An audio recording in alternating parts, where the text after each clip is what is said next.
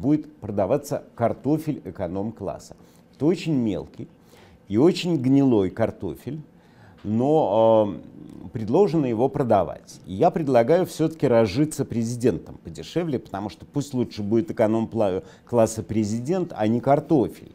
Потому что Владимир Владимирович, конечно, замечательное существо, но уж очень у него затратные хобби, дорогие, и Сирии, и Донбасс, и всякие аквадискотеки, очень разорительные забавы.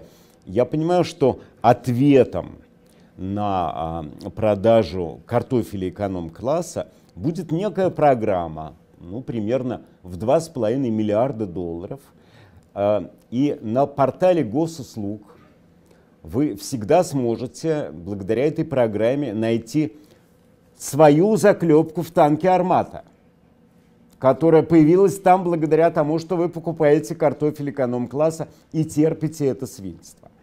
И мы видим, сколько денег тратится там, не знаю, на того же Соловьева. Хотя не надо нападать на Соловьева, он бесценен, он действительно для вот полностью децеребрированной части населения – он создает прекрасную иллюзию. Они бы не смогли без этой иллюзии жить. Он хранитель слепоты, и мне он нравится. Только, кстати, передайте ему, чтобы он никогда больше оранж на себя бы не надевал, потому что он выглядит как апельсин-мутант с головой индюшкой. Так нельзя, он занят серьезным делом, он занимается госпропагандой, он отмазывает неотмазуемое, он очень старается. А, ведь не всякий человек сможет э, даже за деньги утверждать, что Россия это та страна, которая от распада может спасти только сильный удар э, математика в живот пожилого. Да? А, но тем, но над ним ржут, издеваются, он делает, кстати говоря, огромное дело, потому что... Вот, Лиз, ты, ты хохочешь, да? Ты знаешь, сколько слепых в мире?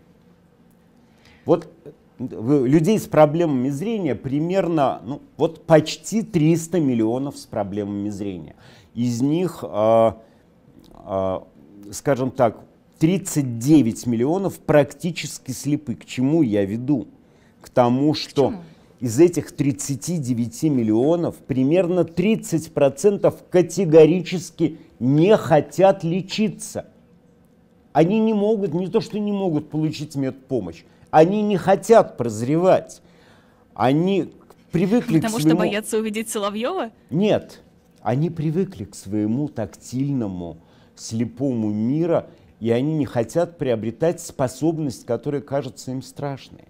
И вот такая же история со зрителями а, Соловьевых. Он же дарит им галлюцинации. И они привыкают. Вот, кстати говоря, в Австралии там есть чудесные собаки. Там есть и динго, там есть и местные, местные пастушеские собаки. Но последние там 30-40 лет эти собаки превратились в диких наркоманов.